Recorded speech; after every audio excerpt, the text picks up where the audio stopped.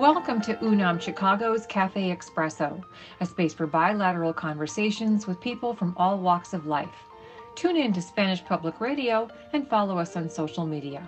And now your host, Alberto Foncerrada. Welcome everyone to another edition of Cafe Espresso, a space for bilateral conversations with people from all walks of life. I'm your host, Alberto Foncerrada, and today I'm very happy to introduce my guest, Sylvia Puente. Hello, Sylvia. Hey, Alberto. So good to see you, and thanks for the invitation to have this conversation today. Absolutely. It's wonderful to see you after so many years. Yeah. And it's you, you really look great. How is confinement treating you? you know, I have to confess, with so many challenges in the world and so many people struggling, I just feel really blessed that we've been able to work remotely at the Latino Policy Forum, the organization I lead, we're still be able to have an impact and we're doing our best to help um, families and communities that are trying to recover uh, from this pandemic that we're in. Just so you know, Sylvia Puente is Executive Director of the Latino Policy Forum. This is a public policy and advocacy organization that does wonderful work you should everybody well we're going to have actually your website uh, on our on our program so people Great. can log in and check it out because you have information that's incredibly relevant to our community and also if you want to learn more about Sylvia uh, you can go there and you, you you can easily spend a good 10 minutes just going through her history and, and, and the amount of awards that you have received and recognition because of all the work that you have done which is really really truly amazing well, you know, Alberto, my mission has always been about, you know, my personal mission. It's always nice when your personal mission coincides with your life and work mission. Um, and in my case, they really have aligned in that I've always been an advocate for equity and justice for our Latino community. Uh, we know that there are many challenges, and I am both pleased and privileged that I've been able to use my voice but also work with an incredibly talented staff, board, and so many other folks who all want the best for our community and who work together in partnership and collaboration to make that happen. Absolutely. Sylvia, you have been recognized as one of the top 100 most influential Hispanics in the US. I just wanted to ask you something just along the lines of from what we've seen and does the America of today reflect uh, what we are, where we are, Hispanics? When you Does America today reflect where we are as a community? Well, you know, I, I think it depends on the walk of life that we're talking about, right? I mean, that I think there are still many arenas where we need to have equity. Um, certainly in our politics, certainly in our government, we don't have representations proportionate to our numbers probably certainly not in corporate or philanthropic leadership either.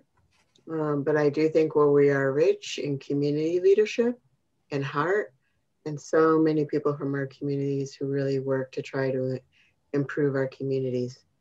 And what I'll share, um, Alberto, is I'm old enough now, I, I'm a baby boomer, right? So I am old enough now to have seen the incredible changes and the growth of our community you know, when I was coming up, I still remember there was a time when you were involved in Latino civic life in Chicago. Everybody knew everybody. The community was small enough that you really all could gather in one ballroom. These days, the Latino community has gotten so big with our business community, our nonprofit community, and all the other sectors that I don't know who all the key civic and business leaders are. Um, and that's a good thing, right? That our we have so many more people in our community working to address the economy, business, our nonprofit sector, our philanthropic sector. We really have grown in size and numbers. Um, one of the little the Latino Policy Forum, as you mentioned, we always start with the data and how do we think about data and pursuing uh, equity. And a couple of years ago, we determined that just since 2000, well, we still have a long way to go to have equitable access to college completion. We have the lowest rates of college completion among all groups. But the flip side and the paradox of that that the number of Latino college graduates has doubled in Illinois since 2000. Oh, wow. So, with this young leadership emerging, I'm just so hopeful for the future and what it means for our community. Oh, wow. Yes, you touch on, on, on something very important. We're so diverse as a community because we, on the one hand, we have the, the, the, the entrepreneurial aspect of these Hispanics, which contribute enormous amounts of money to, to uh, right. this country. And on the other side, and, and sadly, on the, on the present, you can see, like, for example, with this COVID 19 that hit us hard, um, especially uh, Black and, um, Latinos have been the most affected, and, and women have been. I was, I was checking out the Pew Hispanic Center, one of the early studies, and it talked about really, really uh, dramatic numbers on, on, on unemployment for women, for example. Yeah, no, and to your point, we know that about 70% of Latinos are essential workers. So we have this, again, this duality, this paradox where either we are unemployed because we're overrepresented in the hospitality and the service industry, and those jobs, many of those jobs have gone away and will not come back. Um, and then we have 70% of our community being essential workers, which means that they are risking exposure day after day to day to this disease.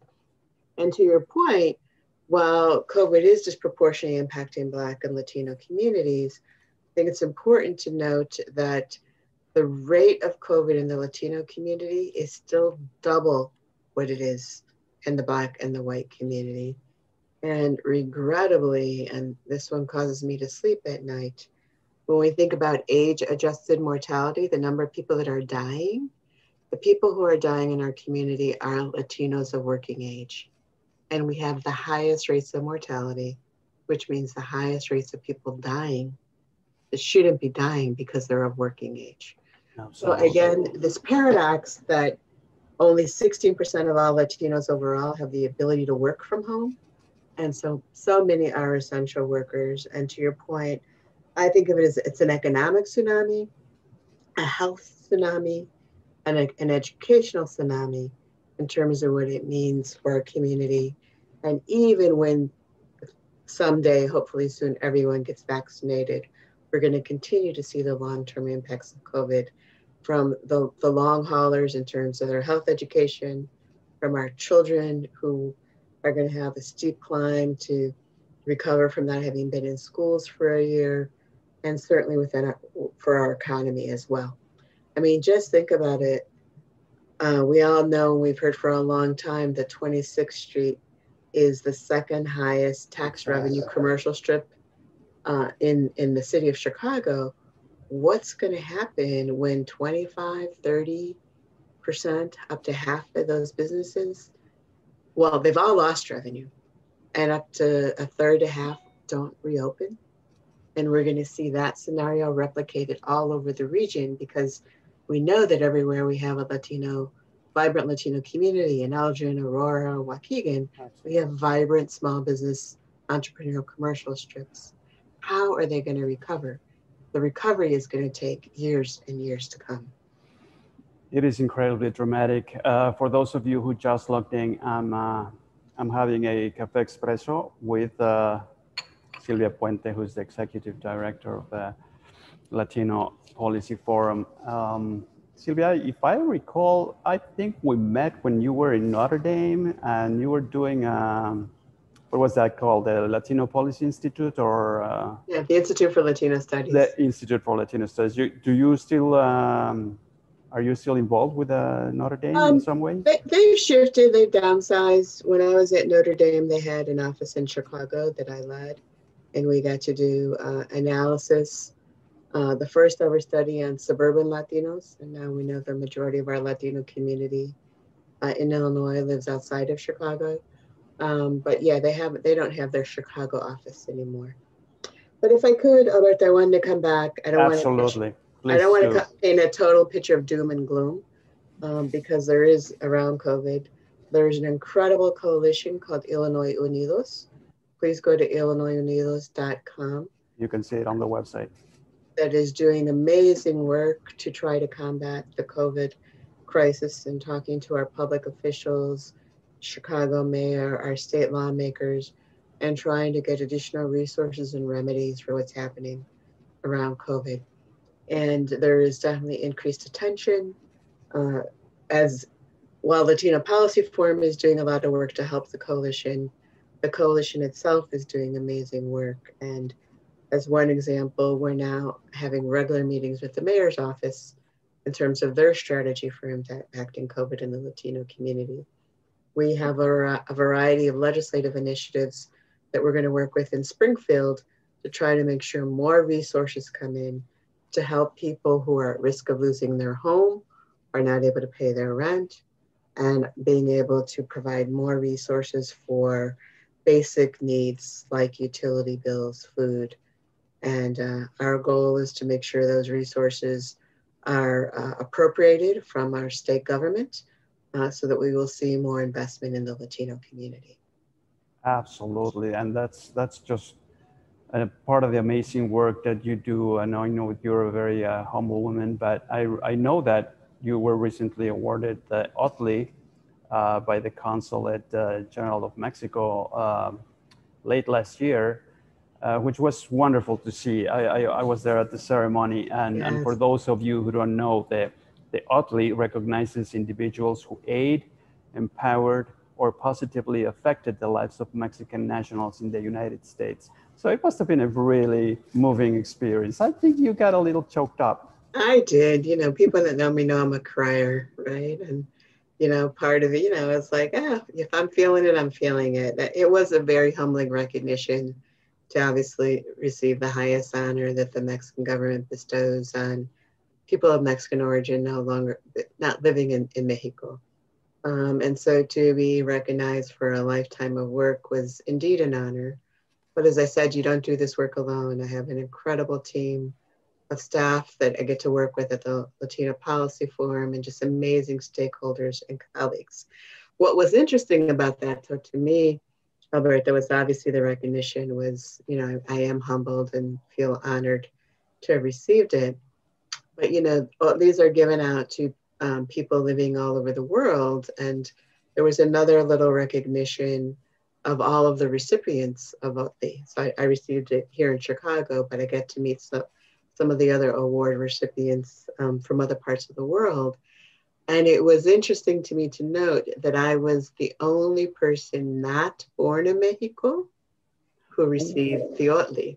Wow. Everyone else, but it was also fascinating to see the Mexican diaspora there were people that received it from Saudi Arabia and from Germany and from Canada and all of, you know, just different parts of the world right. where it's like Mexicans in Saudi Arabia. that one was very surprising to me.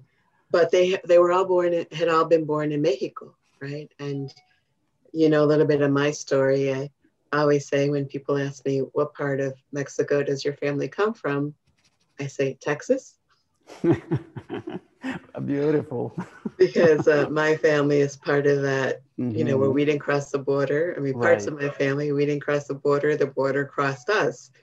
And Mexicans know well the history of the War of 1848 that most people who were born on this side of the, the border have no clue about in terms of what that meant for Mexico and uh, what it meant for what is and what currently is Mexico and what is not. Absolutely. But you are a native Chicagoan, right? You were born here in Chicago, right? I am. I'm a native Chicagoan. I was born and raised. So my parents migrated from uh, Texas uh, to Chicago uh, when they were both in high school. Uh, again, you know, part of my humility comes from my parents' families work the earth. They were farm workers, um, and each of them came here doing that work with their families and their siblings and in the 1950s realized you can make a lot more money if you took a factory job in Chicago uh, than picking strawberries and picking cotton and picking blueberries. It is an incredible story. It is incredible. Thanks for sharing that. And uh, I know you have a special love for this city. So do I, and you know that. And uh, I, we, I'm sure, like me, we miss the summers and, and summer dance and, and all these concerts oh, yeah. where we would, uh, uh, you know, Millennium Park and all those things. Um, what does uh, a day look like in the life of Sylvia Puente these days? Oh my goodness. Well, you know, um, I've always been a bit of a workaholic, and being in quarantine just makes that more intense because there's no break, right? You go from one Zoom meeting to another. And as I mentioned, trying to run a nonprofit organization, raise the revenue, but have the impact we have in COVID, in housing and immigration is a lot. So most days I'm at my computer from nine to seven, eight, or nine. Um, I'm trying to shift that because, uh, you know, one of the things that COVID has lifted for all of us is that we have to take care of our mental health and we have to make sure that uh, we're doing things for self care. So I'm uh, also trying to be very intentional about that as well. I'm getting out every morning and doing two to three miles on my treadmill. I'm uh, for fun doing Zumba classes because okay. I can be a very serious person, as most know, but I do love to dance, and that hasn't gone away. Um, and then, you know, I've never been much of a cook, um, but you know, I'm learning to appreciate cooking because obviously we can't go out to eat as much. Is there any is there any Mexican food that you like a particular uh, kind of like dish that you like? I'm or? still learning how to cook everything. Okay. to be frank, I'm still learning how to cook everything. Right, I can make my chilaquiles. Okay. But I'm still working on uh, how to do the enchiladas. Oh, well, that's wonderful. I know that we're approaching the end of, uh, of our program. Uh, Sylvia, what, uh, just to sum it up, uh, we're facing we're we're facing difficult times. Everybody as a community, we're facing challenging times.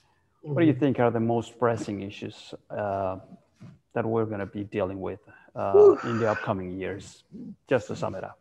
Well, you know, um, I'm gonna I'm gonna be very frank, and someone said this to me, and I think that uh, there's a little bit hope of hope with our new federal government um, and our new federal leadership in terms of what it means for the Latino community and the fact that um, President Biden on his first day issued several executive orders uh, and introduced immigration legislation. Um, and many of those executive orders were reversing uh, what the past president had, had done. So I'm going to use these words. It's like we're coming out of an emotionally abusive relationship. Mm-hmm uh, with our federal government and the fear and the challenges and how that's impacted, I think, so many of us, e- even me, I don't have anything to worry about. But every time I heard the past president, it, it literally made me a little crazy. And so I can't imagine how that feels for people who are really vulnerable and really struggling and really uncertain about their immigration status in this country. Now, having said that, I'm very hopeful for what I think uh, is going to happen at the federal level with the new administration. And there is access and there is an invitation, and they are asking, you know, how and what do we do we need to do to repair so much of the damage that's been done. Um, I'm very thankful and hopeful. You know, we work on the Latino Policy Forum works on public policy issues. Um, I'm really thankful that we work in a true true blue state and have our state, our governor and our, our elected leadership, because when we were negotiating with the state on the mortgage relief and how we were going to disperse money for those that needed help paying their mortgages and their rents, we went to them and they came to us and said, help us design this so that everybody has access, regardless of their immigration status. And that is, of course, welcome news that we didn't have to argue that, we didn't have to debate that. The intention was there from the beginning. I don't know that we got it totally right the first time, but we're definitely going to improve on that for this second round of resources that'll become available um, in this General Assembly. And in our State Department of Human Services, it's phenomenal, uh, Alberto, and this is one of the things that we track of we went from about 10, 10 to 50, no, let me qualify that. We probably went from about 10 to 20 million dollars in resources being targeted to immigrants to over 70 million. We saw a dramatic increase in the amount of resources that our Department of Human Services was implementing. And a lot of that went in cash assistance to families who were in need. Um, a lot of that went to expand the welcoming, uh, the wel- welcoming centers, the, the organizations around the state that immigrants can go to to get help. So we're very hopeful that those resources will be renewed and the Latino Policy Forum is going to monitor, testify, impact, talk to everyone, and do everything we can to make sure that those resources are renewed in this in this new state budget. So while there are challenges that I spoke of, you know, I am incredibly hopeful that, you know, we're seeing responsiveness at the federal level, at our state level, at our city of Chicago level, um, and even from our philanthropic community, Alberto, because some of your listeners might not know, but from foundations and philanthropy, over $65 million was raised. Wow. And again, no question that any of those resources could go to anyone in need, regardless of their immigration status. That's incredible. We that help to monitor that. Now, is it enough? No, because never is. It never is, right? The demand is so great, it's never enough. And that's my deep concern that the people who have been displaced from the workforce, and we know that, you know, our entrepreneurs, our business, and Latinas. I mean, there's been mm-hmm. reports that Black and Brown women have the highest rates of unemployment because of COVID, but Latinas really have the highest rates of displacement from the labor force. So we mm-hmm. really are going to have to think through what do we do to retrain, retool, provide more skills so that those women can continue to provide for their families and their loved ones. Incredible, incredible. The task is enormous and uh, the challenge is great. Sylvia Puente, Executive Director of the Latino Policy Forum, my friend, it's always good to see you. Thank you for accepting my invitation to, to for this program. And you know, I'm sure we will see each other again soon, somewhere in one park in Chicago or somewhere. But uh, I truly appreciate your work. Keep doing what you're doing, and we will see you again. And to everybody, to our listeners, to everybody that logged in, this is another uh, edition of a Cafe Expresso, a space for bilateral conversations with people from all walks of life. Un abrazo, Alberto. I hope to see you in person sometime soon. Cuídate. Take care. Bye bye.